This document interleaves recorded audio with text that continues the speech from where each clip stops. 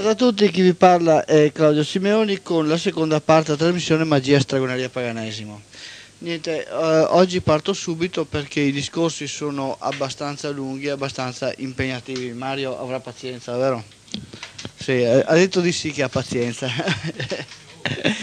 eh, bene, allora vi ricordo che io sono Claudio Simeoni, il mio indirizzo è Piazzale Parmesan 8 Marghera, l'indirizzo dell'Istituto Mediterraneo Studi Politeisti è casella postale 53 Marostica Vicenza. Vi ricordo che da questi microfoni, ciao Mario, buon viaggio da questi microfoni eh, scegliamo noi l'argomento eh, di cui parlare, scegliamo noi anche con chi parlare e scegliamo noi anche come parlare. È chiaro questo?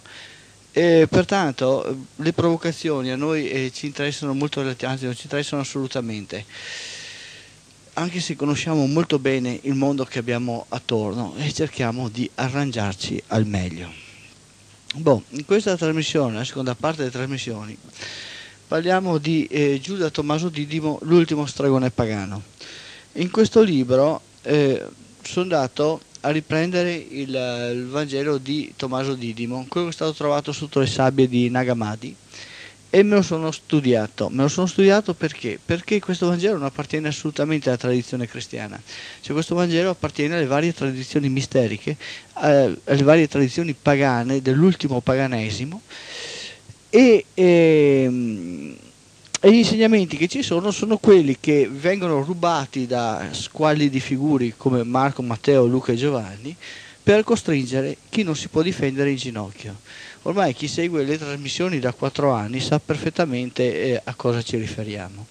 Ebbene, in eh, questa, nell'analisi di questo Vangelo non faccio altro che mettere insieme i principi enunciati dal Vangelo di Tommaso Didimo eh, e avvicinarli a quelli che sono l'uso che degli stessi principi ne fanno invece i cattolici.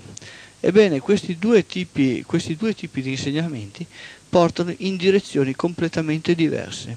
Mentre in Tommaso Didimo, con tutto quello che si può dire, è un Vangelo pagano, nel senso che va verso la costruzione dell'essere umano, va verso la costruzione del Dio che cresce dentro l'essere umano, va incontro agli dei del mondo circostante, i Vangeli ufficiali hanno un solo scopo, costringere gli esseri umani in ginocchio e, in ultima analisi, stuprare i bambini, perché questo è l'unico modo esistente per costringere gli esseri umani in ginocchio.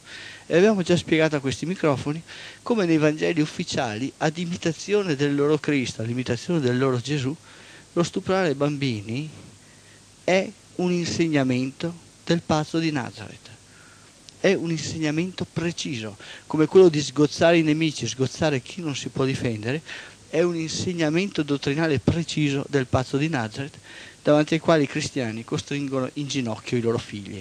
Costringere i bambini in ginocchio per noi significa stuprare i bambini, cioè stuprare il futuro, stuprare la capacità di determinazione dei soggetti rispetto al futuro. Dopodiché chiaramente i cristiani accusano gli altri di queste malversazioni. Perché? Perché bisogna criminalizzare, bisogna colpevolizzare, bisogna indicare, sì, dice sei tu malvagio al fariseo, il pazzo di Nazareth, cioè questo lurido pazzo, va a dire gli altri che sei malvagi, ma dove sono malvagi? Tu come puoi dire cose buone malvagio come sei? Veramente malvagio in questo caso risulta lui e non il fariseo se abbiamo un minimo di obiettività con cui guardare le cose.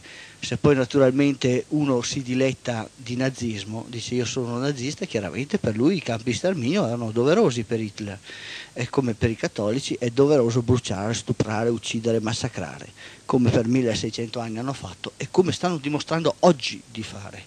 Cioè, ricordiamoci che il campo di sterminio dell'Africa è un campo di sterminio cattolico, cioè, la strage per AIDS è una strage cattolica Bon, del Didimo Giuda Tommaso, l'ultimo stregone pagano, siamo arrivati al paragrafo 47. Se, se, qualche volta mi trovate ad incepparmi nella lettura è dovuto a due fattori. Prima di tutto il mio modo di scrivere, che non sempre è, è preciso, cioè il mio italiano è molto soggettivo. E il secondo è che il libro che ho sotto gli occhi è un carattere 10, cioè un carattere molto piccolo, per cui i riflessi della luce a volte non mi permettono di afferrare bene i caratteri. Sono sempre libri da circa mezzo milione di caratteri, cioè libri normali, ne ho scritti 11 e ne ho altre due in preparazione più altre monotematiche. Per cui eh, non è che il lavoro di costruzione del paganesimo politeista eh, sia una cosa semplice, si tratta di rivedere tutta la concettualità su cui si fonda la società attuale, su cui si fonda la relazione fra l'uomo e il mondo, non è così semplice e probabilmente alla fine di tutto il mio lavoro avrò soltanto iniziato la trasformazione. Bene, vi ricordo allora che io sono Claudio Simeoni, il mio indirizzo è Piazzale Parmesan 8 Marghera, l'indirizzo dell'Istituto Mediterraneo Studi Politeisti è casella postale 53 Marostica Vicenza. Vi ricordo che io sono meccanico, apprendista stregone e guardiano dell'Anticristo e esercito le mie prerogative. Ah, ho anche il, il, diritto al titolo di pontefice, se vi interessa, come ogni altro pagano oggi come oggi ha il diritto al titolo di pontefice. Poi abbiamo degli altri titoli, ma insomma sarebbe un po' troppo lungo. E sono tutti titoli da potere di essere, cioè sono tutti titoli che gli esseri umani si prendono, non che qualcuno ti dà. Passiamo al paragrafo 47. Gesù disse, da Adamo a Giovanni Battista nessun nato da donna fu più grande di Giovanni Battista, sicché, davanti a lui, egli debba abbassare gli occhi. Tuttavia vi dissi, tra di voi chiunque sarà piccolo conoscerà il regno e sarà più grande di Giovanni. Il nocciolo su cui si articola il paragrafo sta nel nato da donna. Secondo Tommaso, nessun nato da donna, da Adamo a Battista, fu più grande di quest'ultimo. Chi può essere più grande di un nato da donna? Chiunque gli sia? Chi non è nato da donna, ma è nato da un essere umano. Chi nasce da donna è un essere della natura, il quale, per le sue azioni, può essere considerato più o meno grande.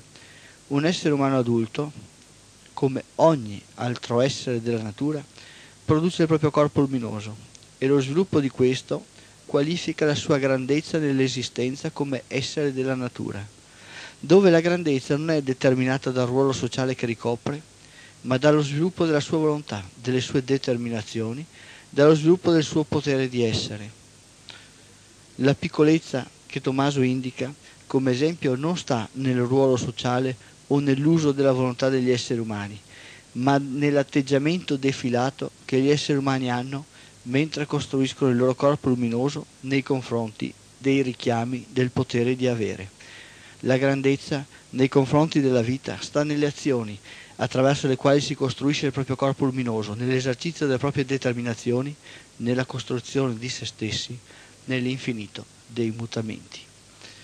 E qui non c'è confronto con i Vangeli ufficiali. E quello che voglio dirvi io, quando io uso il termine determinazioni, ve lo ricordo, ve l'ho già detto l'altra volta, ma tanto vale che lo ripeta, lo uso come espansione del significato che c'è all'interno della filosofia eh, deterministica, del, del, determinismo. In pratica le determinazioni sono le relazioni obbligatorie fra un essere, un ente, una cosa e l'oggettività in cui quella cosa si sviluppa. Ho già fatto l'esempio, noi esseri umani abbiamo le mani e relazioni per il nostro sviluppo nei confronti del mondo circostante le costruiamo attraverso le mani, cioè una parte delle nostre eh, relazioni le costruiamo attraverso le mani.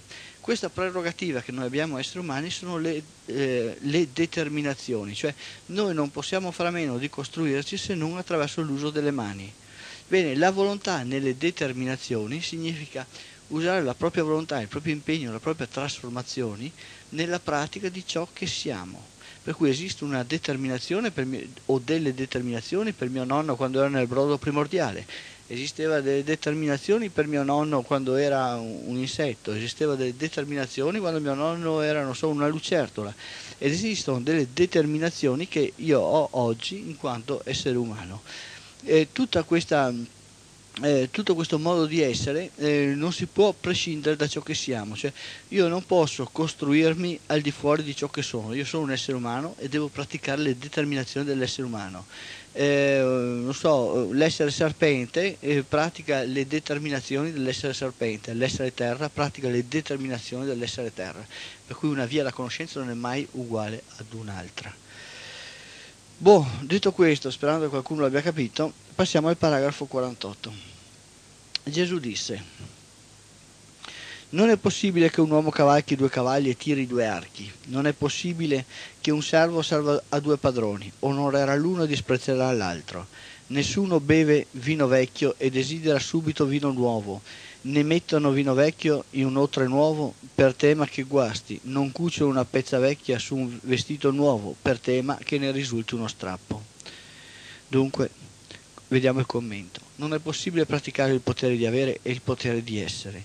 Le due cose sono antitetiche. Si può articolare la vita con l'uno o con l'altro. A volte si possono fare delle mediazioni, ma queste sono sempre pericolose, come cucire un pezzo di stoffa vecchia su un abito nuovo, oppure mettere del vino nuovo in otri vecchi. Si pratica un sistema di vita in quanto viene fatto proprio e si disprezza l'altro in quanto imposto da condizioni esterne. Il potere di essere e il potere di avere non hanno mediazioni. L'uno si oppone all'altro, uno è negazione dell'altro. La ragione di chi vive praticando il potere di avere non riesce nemmeno ad immaginare gli elementi e le espressioni concernenti il potere di essere. La ragione di chi vive praticando il potere di essere guarda sempre sgomenta, incapace di descrivere, inquadra- eh, di descrivere, inquadrando nella sua logica chi pratica il potere di avere. Questa relazione è chiara nelle incomprensioni fra il popolo degli uomini e i conquistatori bianchi. Non c'è in realtà nulla da comprendere, ma tutto è azione, anche quando questa azione è solo distruzione.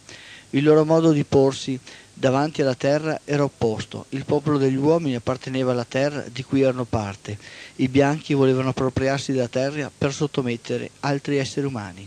C'erano dei bianchi che sviluppavano sentimenti di amicizia e comprendevano la tragedia che il popolo degli uomini stava vivendo e l'unica cosa che sapevano proporre era quella di invitare il popolo di uomini a diventare bianchi come loro, praticare il potere di avere, accettandone l'aspetto più miserabile.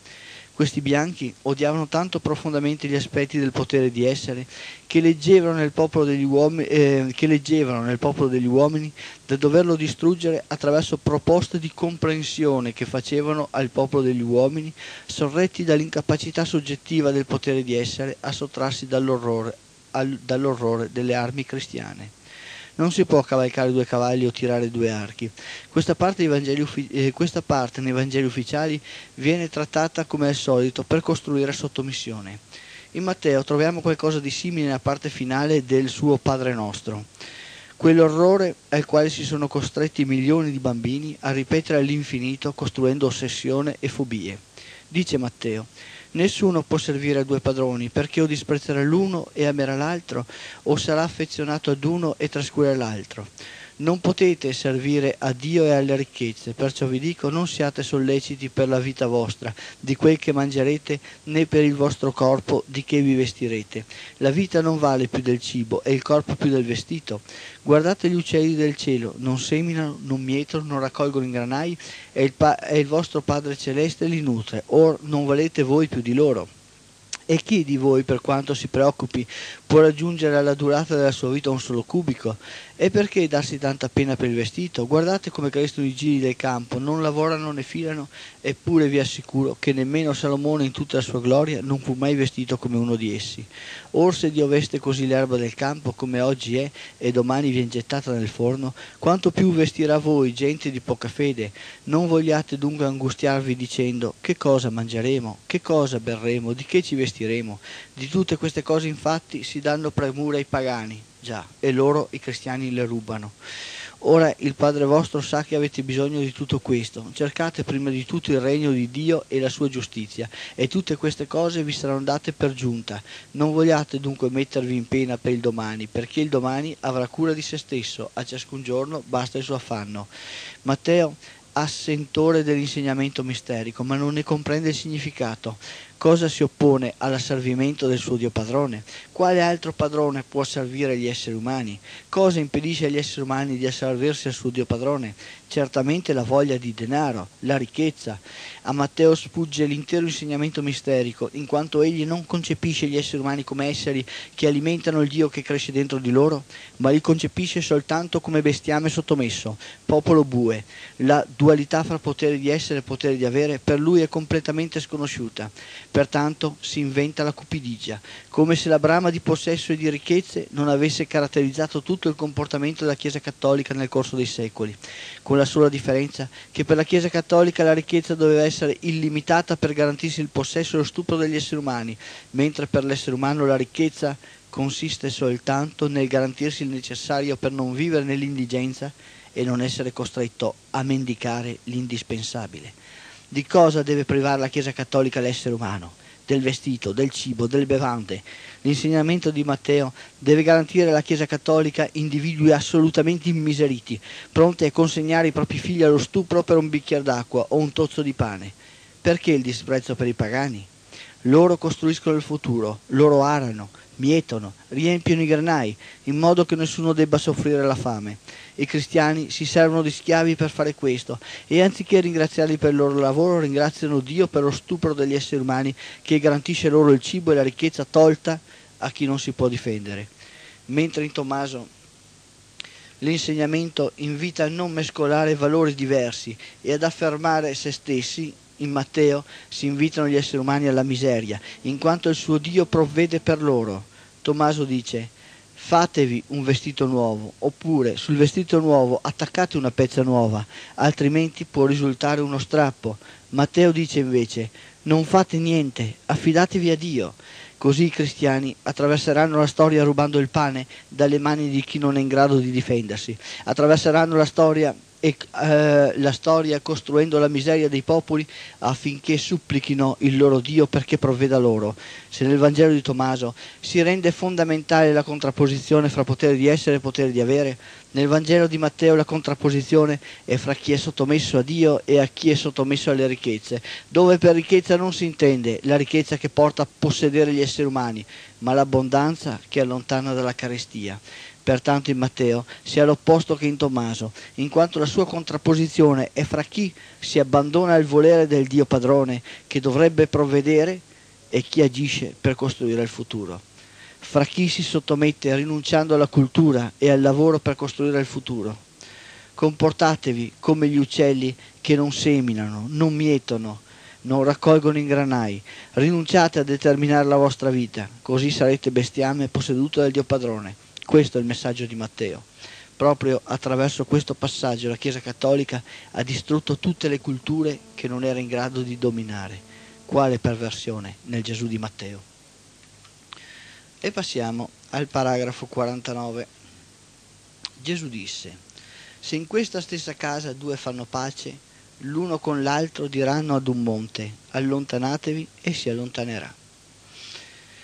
Quando si risolve una contraddizione che aveva attanagliato la nostra attenzione, si dispone di una grande quantità di energia vitale che prima era impegnata a risolvere la contraddizione stessa.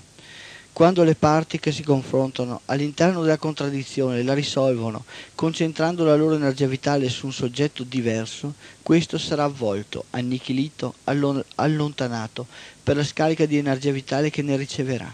La montagna in questo caso rappresenta la condizione che opprime, dove l'oppressore può agire nella misura in cui i soggetti oppressi sono in contrapposizione fra loro.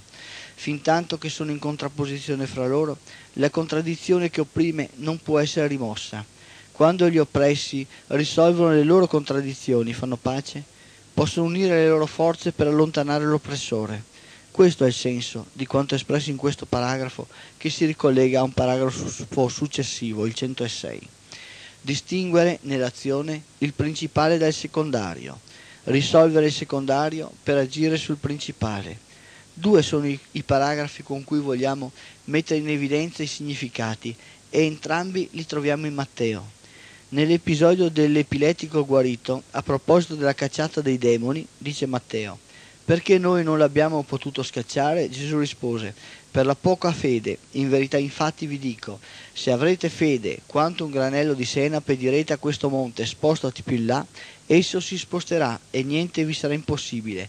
Ma questa razza di demoni non si scaccia se non con la preghiera e con il digiuno. E ancora più avanti a proposito del fico maledetto. Come mai questo fico si è seccato all'istante? Gesù rispose loro dicendo, in verità vi dico, se avete fede non esiterete, farete non solo come è stato fatto a questo fico, cioè distruggerlo, Ma quando anche diciate a questo monte, levati di lì e gettati in mare, sarà fatto. Tutto ciò che, che chiede, eh, chiederete con fede nella preghiera, lo otterrete. L'elemento in comune è allontanati monte. Cosa allontana il monte? Cosa permette all'individuo di allontanare il monte? L'unità in Tommaso è la forza che allontana il monte. Il monte è la cosa impossibile, è la cosa più difficile da affrontare è l'azione impossibile da affrontare. Cosa permette agli individui di mettere in essere questa azione? O una forza per consentire un risultato impossibile? In Matteo ha un fine e in Tommaso ne ha un altro. L'uno e l'altro portano a spostare le montagne. Cosa produce la forza attraverso la quale spostare le, le montagne? L'analisi delle diverse affermazioni deve tenere presente il diverso elemento indicato da Matteo e Tommaso, che forma la forza per spostare le montagne, la qualità delle montagne e la finalità per cui si spostano le montagne. In Matteo, la forza per spostare le montagne si produce attraverso la sottomissione fideistica al Dio Padrone. La sottomissione attraverso la preghiera porta ad ottenere la forza per spostare le montagne. Ma le montagne Matteo non sono montagne allegoriche, sono montagne materiali non in quanto montagne, ma nella loro rappresentazione materiale. La montagna del primo passo preso in esame consiste nella cacciata di un demone. Cacciare il Dio che cresce dentro agli esseri umani è un, è un atto materiale ed è un'operazione difficile nella misura in cui l'individuo che costruisce il Dio che cresce dentro di lui è cosciente del proprio divenire nell'eternità dei mutamenti. Nel secondo passo, preso in esame la montagna rappresentata dal fico. La distruzione del fico è la grande opera ottenuta mediante la fede. In Matteo la fede opera nella materialità quotidiana. Dio vi dà da mangiare, sposta le montagne, ammazza il fico. È uno strumento di intervento nel quotidiano e aiuta a modificare il quotidiano in favore di chi esprime la propria fede. La fede è un atto di magia bovara. Questo va a far virgolette ma andrebbe sottolineato dieci volte, con la quale ottenere dei vantaggi e dei poteri nel quotidiano.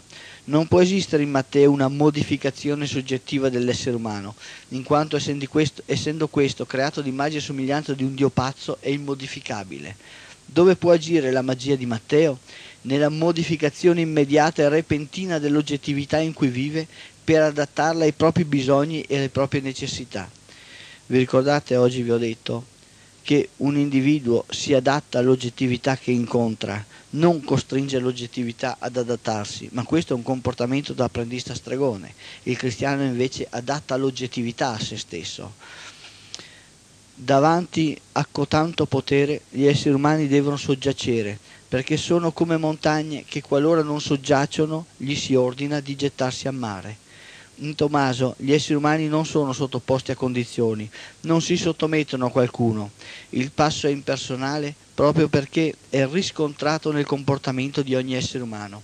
Quando una contraddizione si risolve, la soluzione della contraddizione apporta una tale forza ai soggetti che vi hanno partecipato da renderli capaci di imprese ritenute impossibili. Il loro divenire nell'eternità dei mutamenti.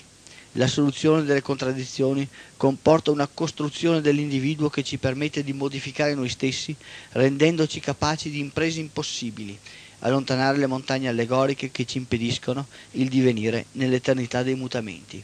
Il fine del Vangelo di Tommaso Didimo è la costruzione degli individui. Il fine del Vangelo di Matteo è il possesso degli individui. E questo è l'elemento centrale che distingue un uno scritto, un passo, qualcosa che sia pagano, magari anche se non pagano antico, pagano eh, misterico, cioè pagano più recente degli, ultimi, degli ultimi secoli del paganesimo, il paganesimo morente, da quelli che sono scritti diversi, cioè praticamente monoteisti cristiani. Gesù disse, passiamo al paragrafo 50. Beati i solitari e gli eletti, perché troveranno il regno. Voi infatti da esso venite e a esso nuovamente ritornerete. Questo sembra un passo quasi neoplatonico. Chi sono i solitari e gli eletti? Sono i cacciatori di conoscenza, di sapere e di consapevolezza, all'interno di un potere di avere che li vorrebbe in ginocchio, mentre distrugge la loro energia vitale. I solitari sono coloro che alzatesi dalla posizione in ginocchio davanti ad un mondo affermano io esisto. Da quel momento iniziano un cammino attraverso il quale costruiscono il loro potere di essere, diventando eterni, mutamento dopo mutamento. Gli eletti sono coloro che per una qualche causa, sia genetica, educazionale o per una propria sensibilità, percepiscono i richiami del mondo circostante e a quel richiamo rispondono soggettivando l'oggettività in cui vivono. Questi due tipi di esseri umani, che si possono definire solitari o eletti, in qualunque situazione oggettiva si trovano ad esistere, riusciranno sempre a sviluppare il proprio corpo luminoso, partendo dalla situazione in cui vivono. Gli esseri umani eh, gli esseri umani nascono volontà, ma sono i soli, eh, gli esseri umani nascono volontà, ma solo i solitari e gli eletti, all'interno di un dominio feroce della coercizione cristiana e cattolica in generale, ritornano volontà agendo per formare il proprio corpo luminoso. Chiunque si adegua alle aspettative del potere di avere, nasce volontà e finisce per vivere distruggendo se stesso. Costui non troverà il regno, Verrà forse un giorno in cui non saranno più solo i solitari e gli eletti a costruire loro stessi nell'infinito dei mutamenti, ma sarà l'intera specie umana. Quel giorno sarà quando il condizionamento educazionale del potere di avere, che nei paesi occidentali viene identificato con le pratiche cristiane, verrà sostituito progressivamente con elementi del potere di essere, quando il dominio coercitivo dei cattolici sui bambini verrà meno ed essi, da bestiame del gregge, diventeranno soggetto di diritto costituzionale. E questo è un discorsetto che facciamo, un leitmotiv che facciamo in tutta la nostra sociologia pagana. No? Passiamo al paragrafo 51. Qual è la traduzione all'interno della sociologia, all'interno del sistema sociale, di quelli che sono i principi pagani e quelli che sono i principi cristiani? Eh, facendo un esempio davanti, non so, a un'autorità, diciamo il magistrato il magistrato cristiano dice io sono il magistrato e tu fai quello che dico io. Davanti a un, un magistrato pagano, invece, non dice fai quello che dico io, ma io sono al tuo servizio. Dopodiché se tu hai commesso un reato verrai condannato, ma è il magistrato al servizio delle persone, non sono le persone al servizio del magistrato e questo vale per qualsiasi tipo di autorità, anche l'autorità di uno Stato, anche l'autorità di una regione, anche l'autorità di un, di un comune, anche l'autorità, eh, qualunque tipo di autorità è al servizio del sistema sociale, non è padrona del sistema sociale, mentre invece il concetto cristiano del Dio padrone è il possesso del sistema sociale, è il piegare il sistema sociale a se stesso. Queste sono le due eh, è la differenza che c'è fra un sistema sociale pagano e un sistema sociale eh, monoteista cristiano, cattolico in particolare. Paragrafo 51. Gesù disse, se vi domandano dove venite, rispondete loro, siamo venuti alla luce dal luogo dove la luce nacque da se stessa, si eresse e si manifestò nella loro, immag- nella loro immagine.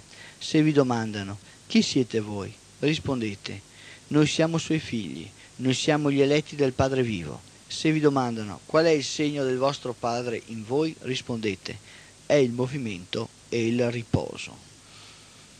E questa è una cosa che non troviamo nei Vangeli ufficiali. Eh? Se vi domandano da dove venite, non costruite delle cretinerie del tipo ci ha creato un Dio pazzo. Dite ciò che è.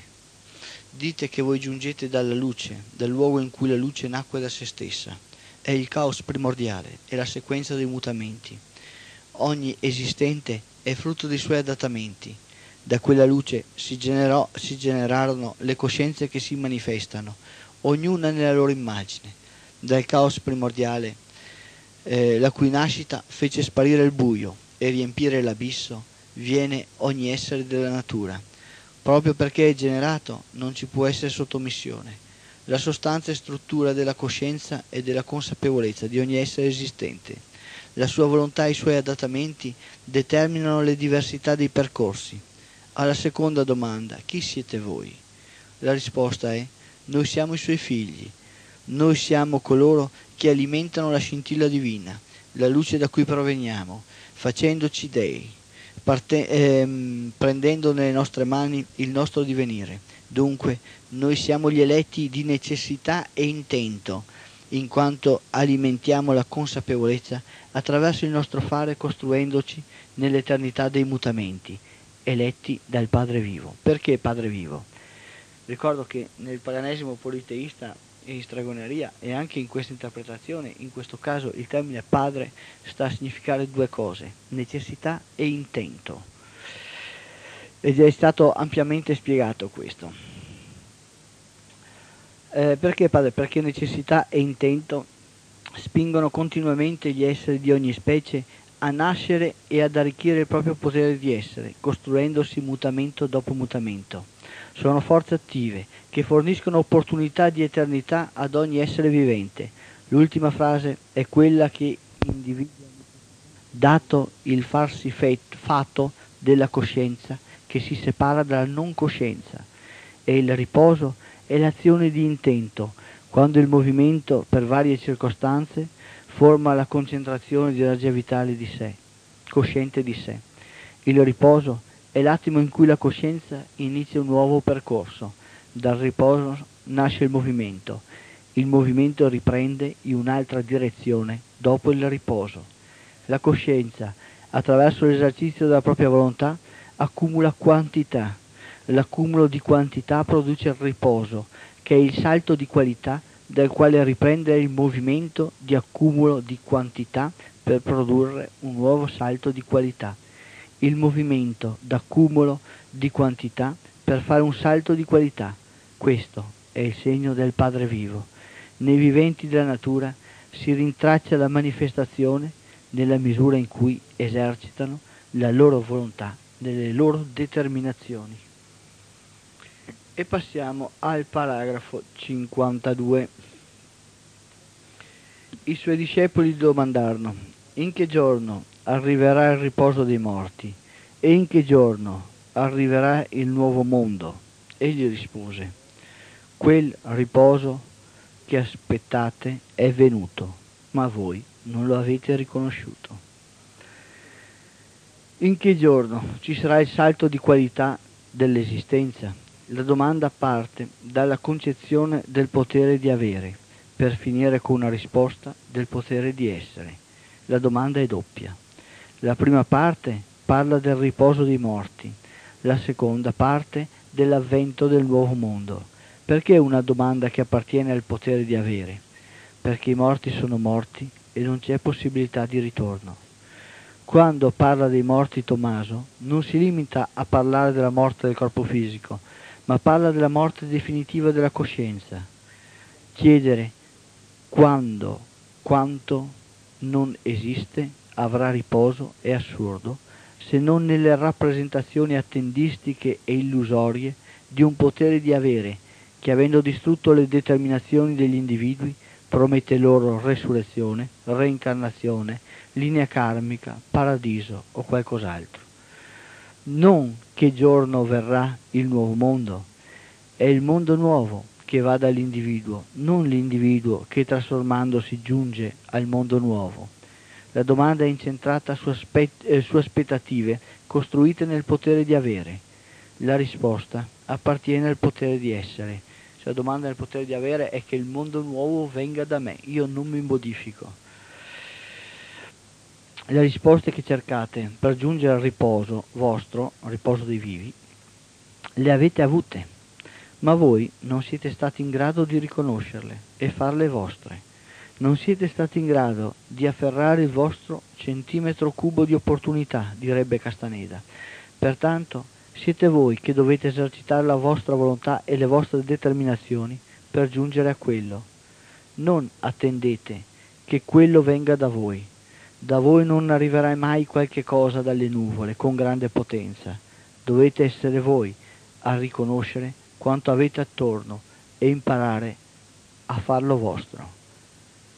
E con le parole di un amico devo dire, per trovare uomini di stile e di ingegno, volgi, volgiti a guardare il nostro tempo.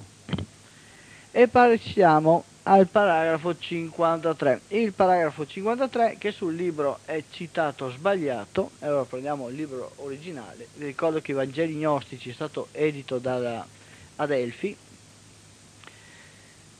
il 53, vediamo un attimino il 53 della Delfi cosa dice. Eh, po, po, po, Eccolo qua. I suoi discepoli gli dissero, in Israele parlarono 24 profeti e tutti parlarono di te. Egli rispose loro, avete omesso il vivente che è davanti a voi e avete parlato soltanto dei morti. Questo paragrafo chiarisce come Tommaso si pone davanti alla vita.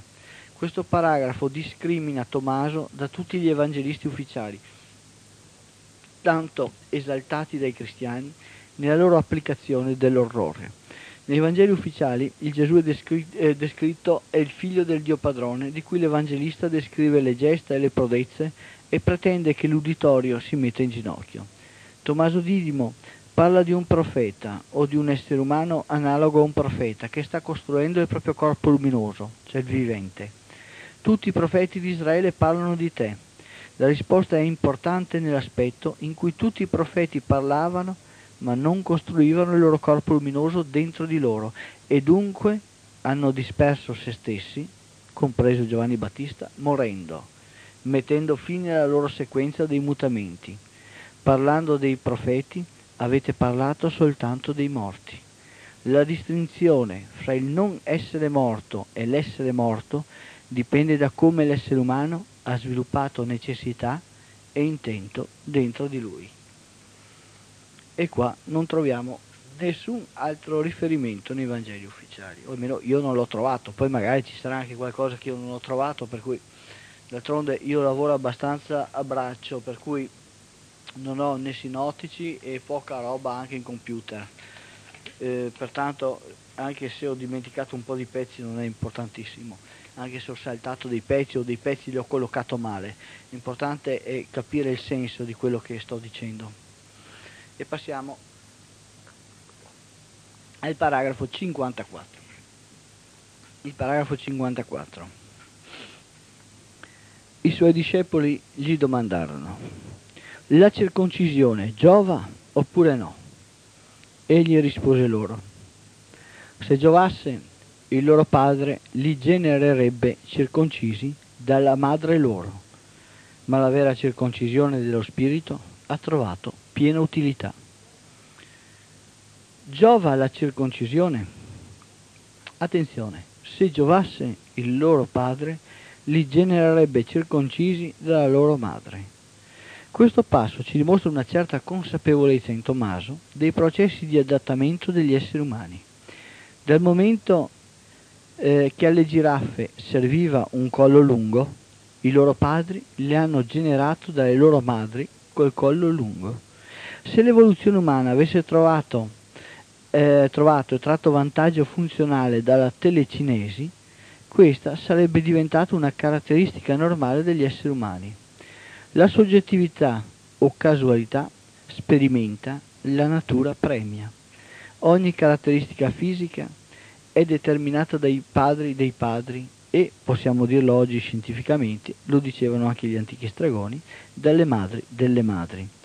Ma limitiamoci ai concetti comuni dell'epoca.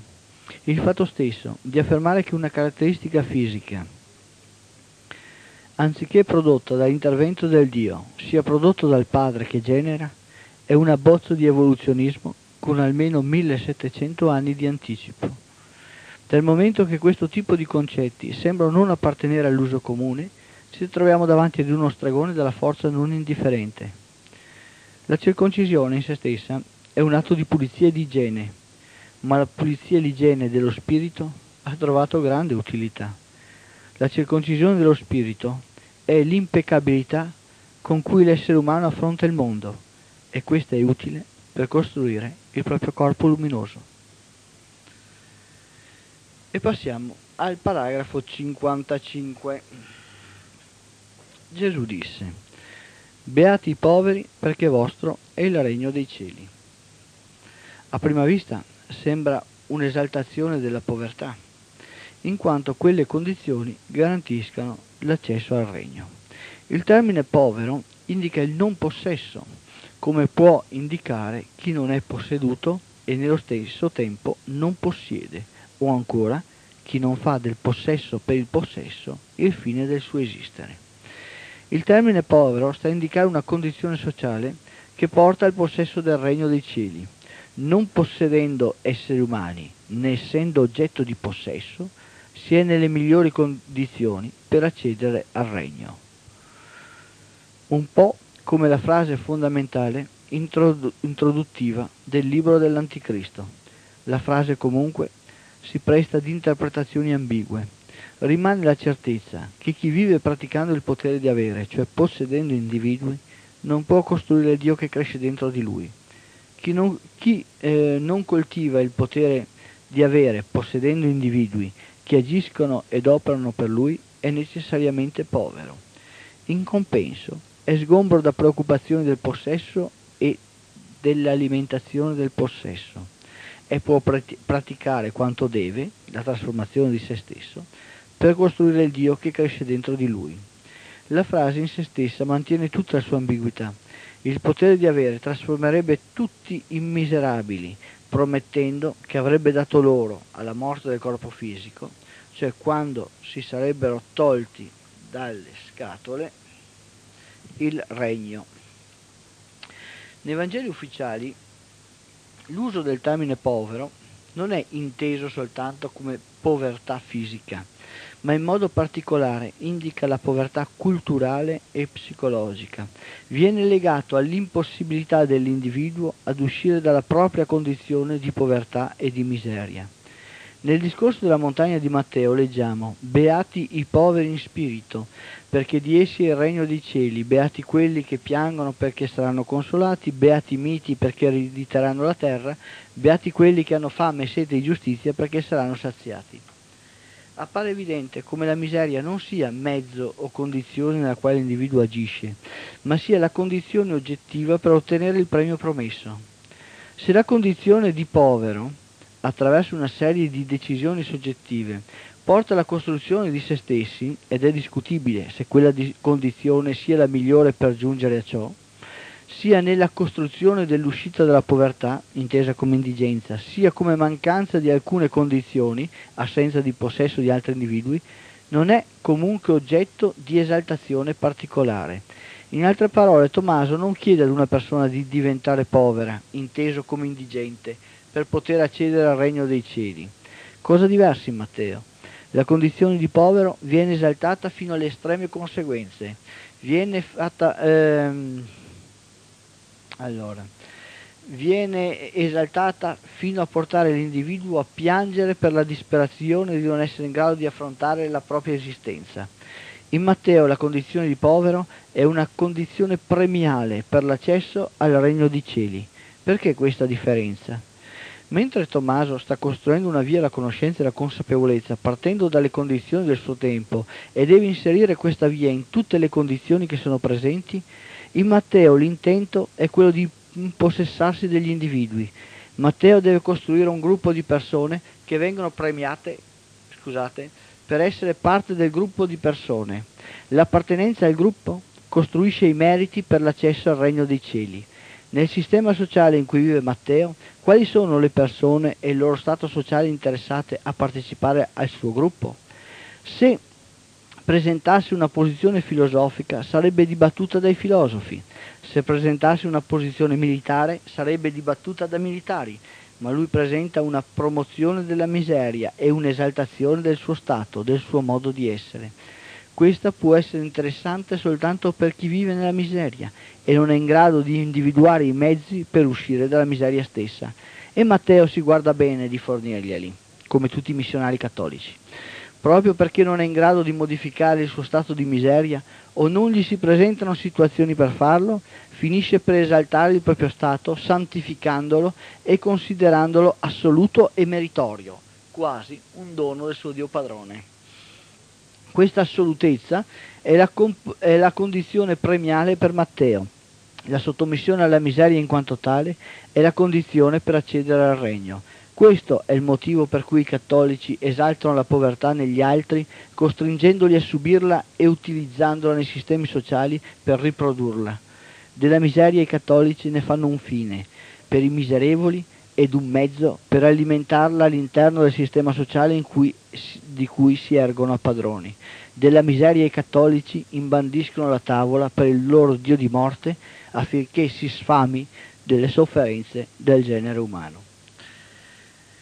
E questo siamo arrivati al paragrafo 56 di Tommaso Didimo, l'ultimo stregone pagano. Allora, questa trasmissione di oggi arriviamo al paragrafo 56. Vi ricordo che i paragrafi sono 112, mi sembra, e boh, li finiremo un po' alla volta, non è molto urgente. Bene, queste sono le differenze che c'è fra il Vangelo di Tommaso Didimo e i Vangeli ufficiali. I Vangeli ufficiali hanno uno scopo preciso, è quello di costringere gli esseri umani in ginocchio. Il Vangelo di Tommaso Didimo era un tentativo di eh, ricostruire quello che era l'essenza del paganesimo, cioè la capacità dell'essere umano di costruire il Dio che cresce dentro di lui. E questa differenza fra paganesimo e monoteismi è una differenza che è praticamente assoluta ed è una differenza importantissima anche per decidere le sorti del sistema sociale in cui viviamo. Va bene, visto che mancano poco più di 10 minuti, vi ricordo che i numeri di telefono di Radio Gamma sono 049 700 700 049 700 838. Pronto? Oh, ciao, posso farti una domanda? Dimmi. Niente, volevo chiederti, ho sentito dicevi che l'apprendista stregone dove va nell'ambiente nuovo, dove si trova si adatta, no? Sì. Eh, cosa vuol dire? Vuol dire che non tenta di piegare il nuovo ambiente a se stesso. Però il fatto stesso di arrivarci eh, viene anche modificato. Ah, cioè praticamente diventa anche lui come gli altri? No, no, no, non diventa, cioè eh, non è che lui sia soggetta a quello che sono le regole, lui si adatta a quello che trova e dopo mette il suo, mette la sua libertà dentro. Mm, attenzione, cioè non è che va a pregare nella moschea, se va in, eh, in, Islam, non è che si mette a pregare nella moschea, vive nell'Islam ma non si sottomette, sono due cose diverse. Cioè non è che fa propria le tradizioni di quel popolo e si sottomette a quelle Quindi tradizioni. Vive come, una, come un pesce fuor d'acqua, insomma. Beh, siamo sempre dei pesci fuor d'acqua. Beh, insomma. Questa è una questione di punti di vista. Sì, d'accordo. Va buon, ti ringrazio. Grazie a te, ciao. Grazie. Il problema è questo, cioè, esistono due modi eh, per affrontare la vita, o modifichiamo l'oggettività in cui viviamo a noi, oppure noi ci eh, modifichiamo in relazione all'oggettività in cui viviamo. Chiaramente le due cose non sono assolute, hanno sempre bisogno di tutta una serie di mediazioni. È chiaro che eh, specialmente davanti a eh, regole di assoggettamento, a regole che chiedono, che chiedono di mettersi in ginocchio, l'apprendista stregone non è che le accetta, le può usare come follia controllata. Esistono dei, degli stragoni che andavano regolarmente a pregare in chiesa, eh? cioè, pur di eh, salva, salvare se stessi, non finire sui roghi e di poter costruire libertà, facevano anche questo. Però eh, non è che noi pretendiamo che un sistema sociale sia dato a noi, quello che noi eh, sviluppiamo è libertà, però eh, non chiedo che le, le altre persone diventino pagane come me, assolutamente Mm, tanto per sé. Di conseguenza però cos'è che devo fare? Devo fare in modo che la libertà si espanda in qualsiasi oggettività io, mm, io giungo. Mm, che dopo il percorso qui in Italia, il percorso qua ehm, a Padova o Venezia, siano diversi da un percorso di libertà fatto a Teheran o fatto a El Cairo, oppure fatto in Sudafrica o a New York o a Pechino, è chiaro che i percorsi sono oggettivamente diversi perché? Perché le condizioni oggettive sono diverse e anche come si esprime libertà in quelle situazioni sono diverse. Infatti noi avevamo detto che esiste tanti paganesimi quanti sono i singoli esseri umani, perché gli esseri umani vivono all'interno dell'oggettività, non è che sono padroni dell'oggettività, non è che possono percepire l'intera oggettività, ma imparano ad attrezzarsi, cioè si attrezzano per vivere all'interno del mondo, per cui la loro percezione del mondo è relativa a se stessi e se siamo un milione di esseri umani abbiamo un milione di percezioni diverse del mondo, per cui sfaccettature diverse, eh, concetti diversi, eh, capacità di leggere e di legare i fenomeni diversi. Cos'è che unisce allora il, paganesimo, visto che non ha una verità, che non ha una verità da imporre sugli esseri umani? È il respiro di libertà, cioè siamo diversi ma camminiamo nello stesso fiume, camminiamo nello stesso fiume di eternità E questa è la diversità. Infatti è abbastanza inconcepibile dal punto di vista eh, delle religioni monoteiste, del cattolicesimo nel nostro caso, un'unità diversa che sia diversa da se stesso, cioè che non imponga un altro libro che non imponga un'altra verità. Perché? Perché i monoteisti non sanno comprendere come l'essere umano sia in grado di percepire il mondo che lo circonda e sia in grado di percepire il mondo che lo circonda come altrettanti dei, come altrettanti esseri viventi. Cioè, per un pagano eh, un, un Dio è quella persona che oltre a vivere usa anche la volontà, cioè manifesta la sua volontà nelle sue azioni quotidiane, all'interno delle sue determinazioni. Chiaramente la pianta, la pianta che ho nel vaso eh, non può avere delle determinazioni diverse se non quella di costruirsi all'interno di quel vaso, perché io ce l'ho messa in quel vaso e probabilmente se la piantassi per terra morirebbe. Eh, ce l'ho e la, la, curo in quel vaso, ma lei esercitando la sua volontà in quel vaso trasforma se stessa in un Dio. Cioè, questo è il concetto eh, del paganesimo. Per cui tutti gli esseri, tutti, eh, tutte le forze, tutte le condizioni tentano di espandere se stessi. Gli dei pagani non sono ehm, dei da considerare come i monoteisti gli piace molto dipingere il loro Dio padrone assoluto, onnipotente, onnisciente, che poi è una cazzata, ma sono dei centri di energia vitale, sono delle coscienze che costruiscono loro stesse, ma per costruire loro stesse necessitano dell'oggettività, della complessività dell'oggettività all'interno della quale si costruisca. Infatti il mondo pagano è un mondo di dei, dove ogni persona, dove ogni essere, dove ogni forza, dove ogni coscienza, dove ogni consapevolezza è in se stessa un Dio che costruisce se stesso nell'infinito dei mutamenti. Questa è la visione pagana. Non può esistere nel paganesimo una visione del gregge. La visione del gregge c'è là dove c'è una verità, là dove c'è un libro sacro, là dove c'è qualcuno che ti annuncia, che poi la verità ti venga dal Dio padrone, ti venga dal pazzo di Nazareth, ti venga dalla rivelazione degli spiriti, ti venga dalle entità superiori, è sempre una rivelazione nella misura in cui l'essere umano non esercita la propria volontà, non si prende in mano la responsabilità della sua vita e lui usa magari anche la rivelazione, anche l'informazione, la usa, la fa propria e la ritrasforma nell'oggettività. Allora questo ritrasformare nell'oggettività cessa di essere rivelazione perché l'individuo l'assume come propria e la sviluppa come propria. Allora in quel caso non è più una rivelazione, un mio amico mi dà un'informazione, io quell'informazione la prendo, la trasformo, la, eh, la valuto e la utilizzo nella mia vita. Quello non è una rivelazione, e i miei amici sono tanti, cioè i miei amici sono gli dei, per cui non mi viene rivelata una verità che prima era nascosta, ma mi si è data un'opportunità per trasformare in conosciuto qualcosa che era sconosciuto. Per cui gli dei non fanno rivelazioni, gli dei camminano insieme agli amici, perché gli amici degli dei sono dei essi stessi. E di camminare insieme agli dei è l'accedere all'Olimpo, è l'accedere al Valhalla, è l'accedere al Duat, è accedere al luogo degli dei, trasformando ogni essere della natura e ogni essere dell'universo in un Dio. Bene, chiudo qui la trasmissione di magia, stregoneria e paganesimo. Vi ricordo che io sono Claudio Simeoni, meccanico, apprendista stregone, guardiano dell'Anticristo. Il mio indirizzo è Piazzale Parmesan 8 Marghera L'indirizzo dell'Istituto Mediterraneo Studi Politeisti è casella postale 53 Marostica Vicenza. Allora, grazie per avermi ascoltato e a risentirci a giovedì prossimo. Giovedì prossimo andremo avanti col mobbing e termineremo e andremo avanti anche col Tommaso Didimo. Vi ricordo che ci sono altri due lavori in, um, altri due lavori in preparazione che è un'analisi della teogonia di Esiodo e il crogiolo dello stragone come dei, gli elementi del crogiolo dello stragone come dei.